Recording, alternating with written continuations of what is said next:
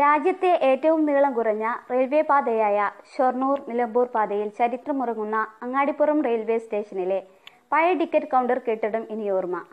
Nilambur Shoranur railway പാതയുടെ നവീകരണ പ്രവർത്തനങ്ങളുടെ ഭാഗമായി പഴയ കെട്ടിടങ്ങൾ പൊളിച്ചു മാറ്റി ആധുനിക സൗകര്യത്തോടെയുള്ള കോൺക്രീറ്റ് കെട്ടിടങ്ങൾ നിർമ്മിച്ചതോടെയാണ് പഴയ കെട്ടിടം പൊളിച്ചു മാറ്റുന്നത്.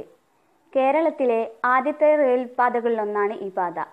നിലമ്പൂരിലെ തേക്ക് പുറംലോകത്തേക്ക് കടത്തുക എന്ന ലക്ഷ്യത്തോടെ ആയിരത്തി തൊള്ളായിരത്തി ഇരുപത്തൊന്നിൽ ബ്രിട്ടീഷ് ഭരണകാലത്താണ് പാത നിർമ്മിച്ചത്.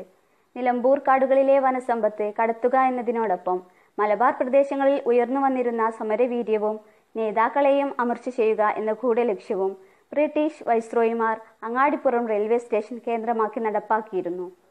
രണ്ടാം ലോക മഹായുദ്ധകാലത്ത് ആയുധ നിർമ്മാണത്തിന് വൻതോതിൽ ഇരുമ്പ് ആവശ്യമായി വന്നതോടെ ആയിരത്തി തൊള്ളായിരത്തി നാൽപ്പത്തൊന്നിൽ റെയിൽപാളങ്ങൾ ഉൾപ്പെടെ ബ്രിട്ടീഷുകാർ അയച്ചു കൊണ്ടുപോയി കയറ്റി അയച്ചു. പിന്നീട് ആയിരത്തി തൊള്ളായിരത്തി അൻപത്തി മൂന്നിലാണ് നിലമ്പൂർ പാത പുനഃസ്ഥാപിച്ചത്. ഭാരതപ്പുഴ മുതൽ ചാലിയാർ പുഴ വരെ മാത്രമേ ഈ റെയിൽവേ പോകുന്നുള്ളൂ എങ്കിലും ഇതുവഴിയുള്ള യാത്ര തീർത്തും അവിസ്മരണീയമാണ്.